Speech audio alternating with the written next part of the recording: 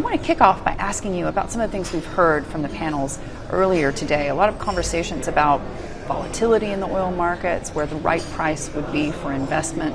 How do you take a look at this and what's your strategy?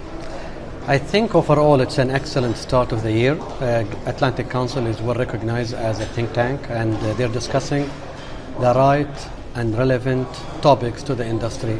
So we've heard from the ministers, we heard from uh, energy experts, uh, industry executives about their view on the uh, energy landscape, especially for the year 2019. And overall also the impact of technology and the structural changes happening to the economies uh, going forward. What is the thing that you're most cautious about moving into 2019? Is it growth in China? Is it the geopolitical headwinds?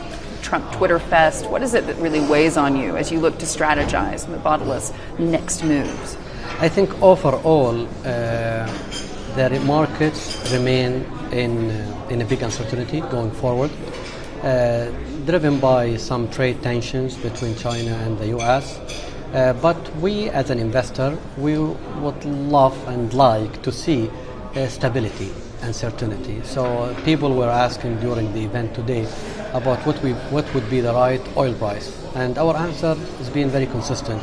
We don't look at an absolute number. We look at stability and visibility on the oil prices going forward, and what market conditions will dictate these uh, changes in the oil price going forward. So as Mubadala, we're an institution that pays attention to the details and looking for these trends that may impact our decision on the energy and non-energy sectors going forward. Walk me see some of the investments that you're looking into in Asia specifically. What are some areas of interest? Yeah.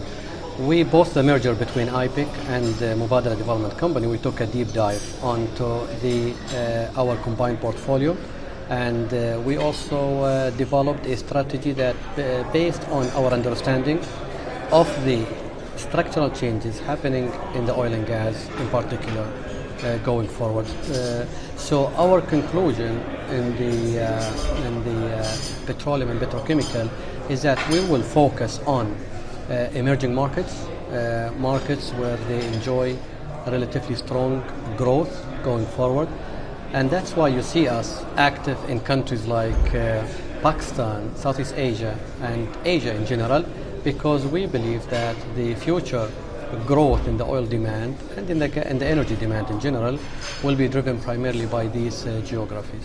And in terms of that demand growth, there are a lot of questions about how China demand is going to really impact the surrounding region. Are you worried about that?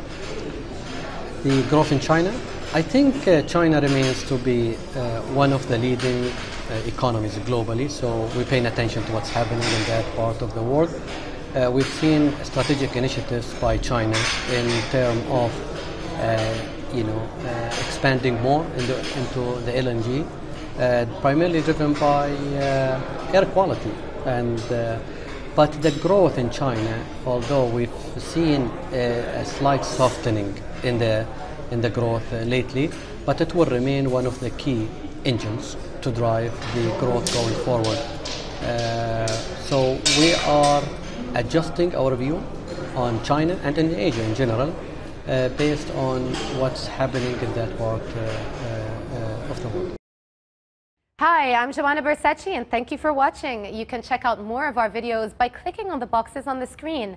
And don't forget to subscribe to our channel for more from CNBC International. Thank you for watching.